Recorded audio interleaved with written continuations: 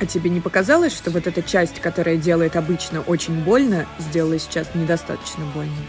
Показалось, обычно больнее. Перемотаем? Конечно.